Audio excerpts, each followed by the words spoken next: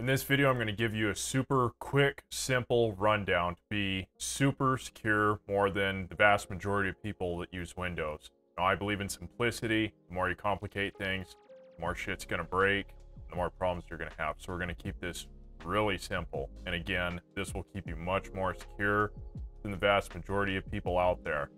So if you're working with Windows Defender, what we're gonna do first, come in here, we're just gonna make sure everything's turned on, working great. In this case, got all green check marks.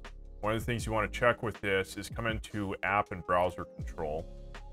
Make sure and reputation-based protection, everything is turned on, phishing protection on, warning about malicious apps and sites, blah, blah, all that good stuff.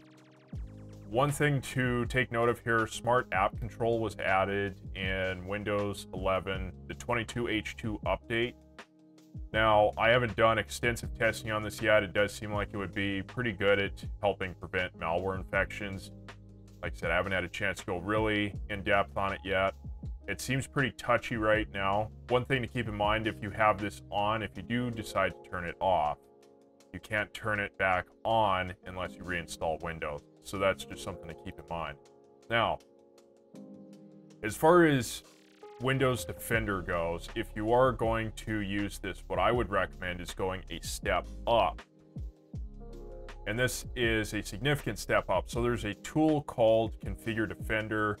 There's some other ones out there that are fairly similar. I think they pretty much all accomplish the same thing. I'll just drop a link down in the description if you do want to use Configure Defender. I'll just explain this here real quick. So we'll just go over the basic protection settings here. So by default, this is what Windows Defender has on by default. So if you, I haven't set it to high or max yet, but if you look here, you can see cloud protection level is on by default. Uh, we'll go over that here in just a second. Automatic sample submission is send. You can see that, you know, if you scroll down here further, stuff like Scripts and macros are not blocked, which I personally highly recommend blocking them because that's how a lot of malware spreads.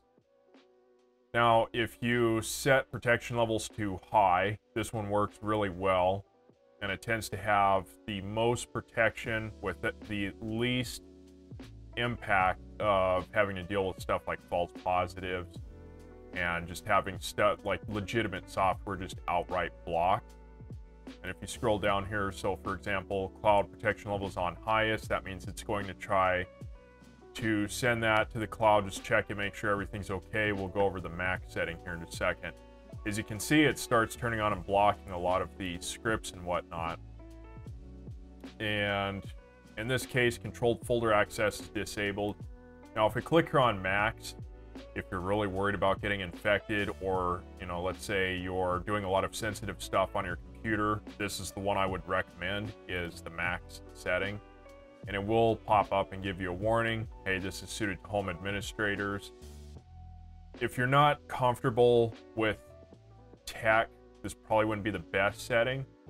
But it, like I said, this one offers great protection. If you turn this on, Windows Defender does way, way better than just the stock setting. So it's going to say that you're going to get like a lot of false positive security alerts. We'll go over that in just a second. Just click continue here. It'll set everything up. Now it's going to ask, do you want to hide or keep unhidden the little Microsoft Defender icon that shows up down in the bottom right corner of the screen? I recommend just keeping it unhidden in case you need to go into uh, the Security Center for any reason.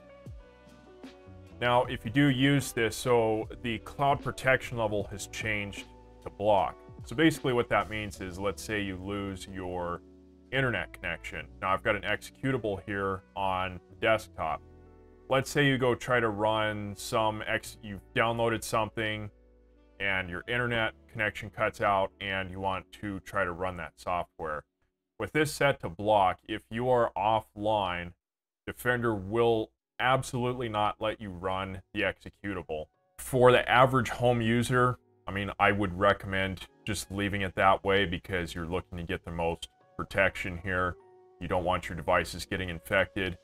If you're at the level of a home administrator, maybe you'd be a little more comfortable. Uh, it comes down to having some common sense. You don't want to be doing something dumb on the internet, going to these weird download sites and download free V-Bucks and download free Minecraft and all this other garbage. I mean, if you're the kind of person doing that, you're probably going to get an infection on your computer regardless. But as you can see here, it turns on all this other protection. Now, some people are probably asking, well, why the hell doesn't uh, Microsoft block this stuff by default? Well, because it can cause some issues. You know, like the aforementioned example that I gave where it blocks the cloud, uh, where if the cloud setting is set to block, you know, if you're offline, it just won't let you run stuff.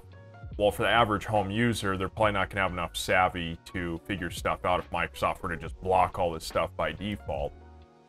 But again, these are really common threat vectors here that stuff just spreads through. So I would recommend leaving all this stuff on. Now, if you do go with max setting, one thing that I would recommend changing is controlled folder access.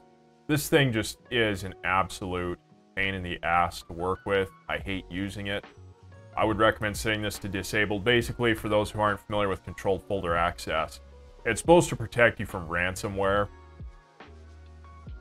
a lot of ransomware doesn't seem to have any issues bypassing this feature at all. And basically, if you try to run a piece of legitimate software and it needs to make some sort of a temporary folder or folder to put some sort of cache in, and let's say your user folder, you'll get pop-up from Defender saying, hey, this program's trying to do this. Do you want to allow it? It is just pain in the ass to work with. So I just prefer to leave it disabled.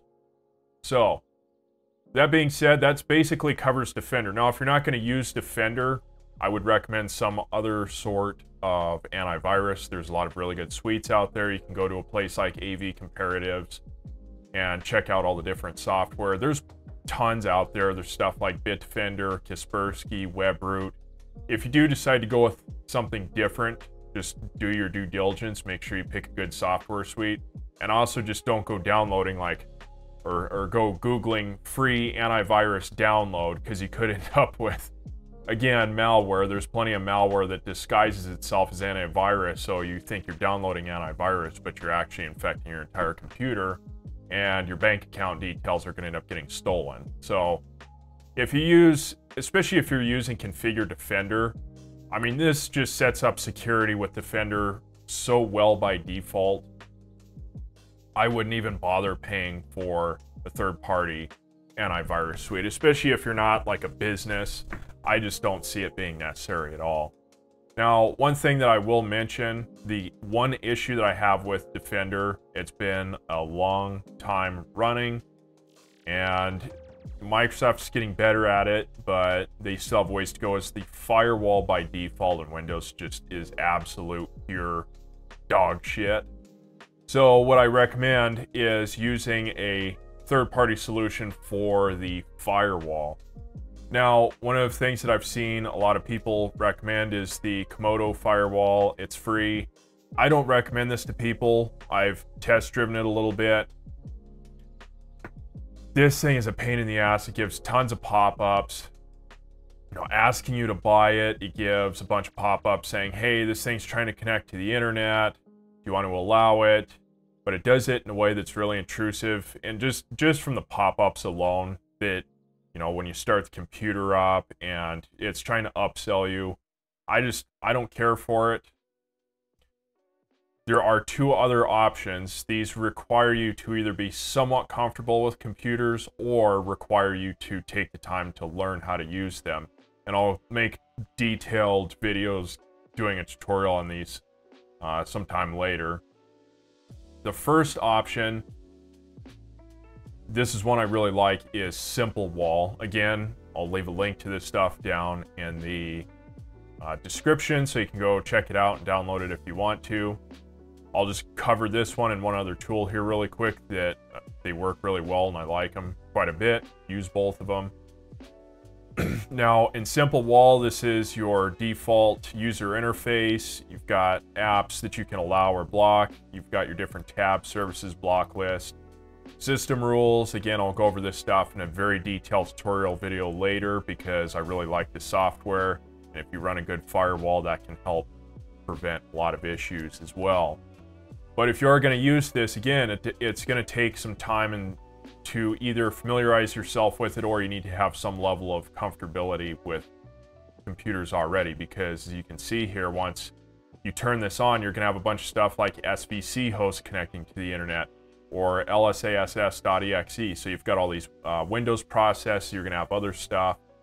So again, it's not necessarily beginner friendly, but if you're willing to put in the effort to learn this stuff, this is a great firewall here. The other option, I really like this one. This is a great piece of software. Is it called Portmaster? Now they have a free version and they have a paid version. The paid version basically, I'll make a video on this software as well, going through it in depth. The paid version uh, has kind of like this Tor feature that it runs your connections through sort of a, a uh, an encrypted way. I, I'll explain it more in, in the video when I make it in depth. You know, you could go with this option as well if you want to. Again, I'd really like this one. You know, so in this case, it's showing you all the stuff that's connected. One thing that I really like about this software in particular is you can do uh, encrypted DNS, it will give you quick settings, so you can either set to Cloudflare with a malware filter, you can do Quad 9, you can do AdGuard, you can set up your own stuff and go through uh, a separate DNS server. The other thing that I really like about this is it has operating system level uh, ad blockers and tracker blockers. So, you know, we'll just go through this here real quick so you can open this up. So ads and trackers is one of the filter lists that's turned on by default.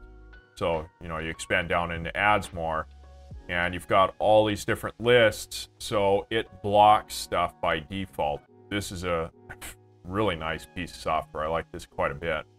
So again, I'll do videos on this one as well, how to use it, go over it in great detail at a later date kind of going out of the purview of this video just because we're trying to keep stuff simple here. Next thing you want to do to keep Windows safe and secure is one thing I don't understand why Windows doesn't have this stuff on by default. Whatever, maybe they'll fix it at some point. So you need to open up Windows Explorer. Uh, just any Explorer window, window will do. Click on See More. Go to uh, options. And we're going to go to view. A couple things you want to do here. Show hidden files, folders, and drives. And uncheck hide extensions for known file types. We'll go through each of these here real quick. So I'm just going to go and click apply. So before I click apply here, I've got a executable sitting on the desktop. So I'll just click apply here real quick. Now, you can see the executable now shows as Brave Browser Setup.exe, whereas before it didn't show exe. The reason you want to do this is a lot of malware spreads because, well, first of all, a lot of people browse through shady websites that they shouldn't be going to. If you're doing sensitive stuff, you're doing banking and stuff like that on your computer, you really shouldn't be going and downloading random weird shit. I don't know why it has to be said, but there's plenty of people that keep getting infected this way, and then they try and blame Microsoft, saying that Microsoft puts out a bad product. Bunch of garbage. But it, when you turn this off here, it shows the extension. So let's say you were to go and download what you think is a picture. So it would, you know, you think that it's a JPEG file. Oh, Well, what the what these malware people can do is they can make it so that it looks like it's a JPEG file by putting a extension in here. But if you click or, or uncheck hide extensions for known file types, it will show you the true extension at the end. So in this case, it's a .exe file. Again, super important. You need to make sure you turn that on. That way, if you were to download a file that's trying to disguise itself, uh, as a legitimate file, but it's got a executable file format or something like that, you can see it. The other thing that it does here, so it's I checked the option to show hidden files and folders. You don't really need to be concerned about this too much. It's just good to be able to see what hidden files and folders are on your computer. For the most part, you don't want to mess with this stuff at all, but you can see here these grayed out or darker colored folder icons here are what's considered hidden folders. So we'll just go back here real quick, go to view, don't show hidden files and folders. So these disappear. So now when I click show, show hidden files, folders, and drives, a lot of times this is Windows putting sensitive data in there that, you know, if you were to delete it, it could absolutely destroy stuff. So really, you don't want to be going in here messing around. But it's one of those things, again, it's just good to be able to see if there's anything lurking or sneaking around on your computer. Typically, you won't have to worry about that, but it's just good to have that set up. Next thing, make sure you're using a reputable browser. Uh, don't just go download some random browser. I know people like some of these esoteric browsers. I don't want to name names, but if you stick to the common, the reputable stuff, you've got stuff like Google Chrome, the Brave browser, Firefox, Microsoft Edge. Just stick to something reputable. Don't go download and use some random piece of garbage internet browser because a lot of them are probably going to have some sort of malware built into them. This goes for Windows. This absolutely applies to uh, Android. A lot of Android apps have an issue with uh, being infected, spying on people, stealing uh, account details, stuff like that. So don't use just random garbage. Next thing, uh, this is something a lot of people overlook. Make sure you are using and running updated chipset drivers. Now, if you're not super tech literate, then you might just have to overlook this one because you don't want to download the wrong thing and break your computer. But your chipset is your motherboard. So you have motherboards by you know, you'd have AMD and Intel drivers that you would need to download for your computer. So if you have an Intel uh, 12900K or, you know, an AMD 5800X, you know, what chipset driver you're going to use is going to depend, but those have a lot of important security fixes.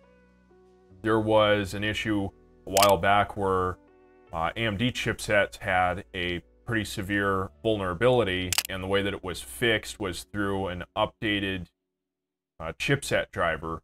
Now, some people will say, well, you can download it from Microsoft uh, up or Windows Update. The issue is that Windows Update may not have the most recent chipset drivers. So I would recommend just going to your chipset manufacturer. Again, that's going to be AMD, or Intel, depending on what process you're running in your computer. Again, if you're if you have just very limited computer knowledge, that might be better to skip because if you were to download the wrong drivers and they were to somehow get installed, it could end up breaking a whole bunch of shit. Uh, next thing, don't use, I've already talked about this a little bit, but don't use random garbage software. Don't go looking on these weird file repository websites that have a million different executables for a thousand different apps on there. If you're going to download something, you know, take the Brave browser, for example, make sure you go to Brave's main website and download from there. I don't recommend going to these big file repositories or some shady website in some corner of the internet that's hosting a file because you're taking a significant chance that stuff is going to uh, you're you're going to end up downloading something that's infected.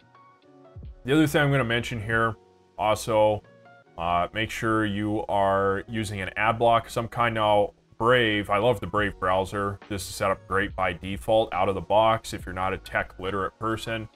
Brave browser is absolutely amazing. Uh, if you're using something different like Chrome, Firefox, or Edge as examples, you need to download an ad blocker.